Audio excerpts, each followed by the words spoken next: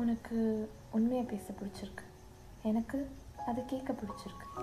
Simple என்னை பொறுத்த வரைக்கும் லவ்னா நீ தான் என் உலகம்.